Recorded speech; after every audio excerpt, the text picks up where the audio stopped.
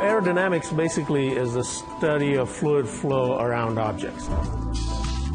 NASA is not in the business of designing soccer balls or any balls for that matter, or testing them. What we do use sports balls here, uh, especially in our lab, is for educational purposes. We found that it's very easy to get young kids interested in our field by showing something they can relate to.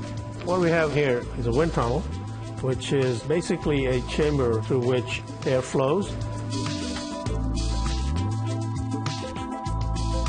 When it comes to soccer ball, what we're looking at is the flight of the ball through the air.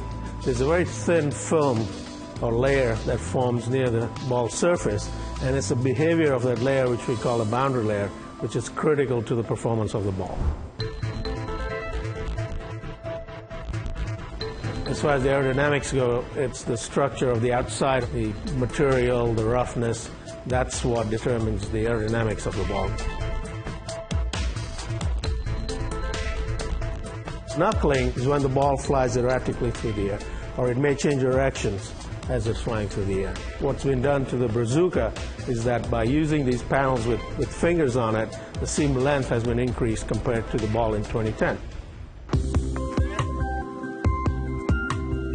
What we're looking at with the smoke patterns is where does that smoke leave the ball? At what point along the surface? And when that position of that separation location changes suddenly, then that is the speed at which the ball will knuckle the most.